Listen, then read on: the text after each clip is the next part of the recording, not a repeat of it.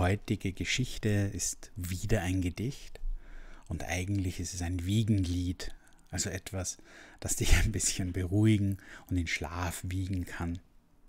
Viel Spaß dabei. Es heißt das Wiegenlied der Elfen. Tanz den Reigen, Glockenblume, sing hell und klar dein süßes Lied. Ein Kindlein liegt in unseren Armen, es singt der Wind ein Wiegenlied. Sei willkommen, Menschenkind, in unserer ach so zarten Welt. Feingewobene Sonnenstrahlen seien dein Gewand und dein Gebet. Ahorn, Baum und Weide nun, sie formen dir ein Bettchen, ein Kissen gemacht aus Gras so grün, das diene deinem Köpfchen. Tanz mit deiner Seelenstärke, den Elfentanz mit uns. Lass dich führen und verzaubern, geliebtes Kind, vertraue uns. Getragen von einem sanften Brummen heißen die Bienen dich willkommen.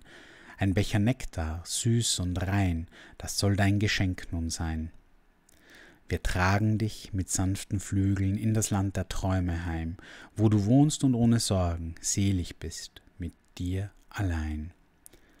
Schlafe tief, o oh Menschenkind. Stets fühle dich geborgen, Du wirst uns nicht vergessen bis zum ersten Licht des Morgens. Schlaf nun, Menschenkind, und wisse, wir an deiner Seite sind. Auf Morgentau und Glockenblume die Harfe der Wiese für dich klingt.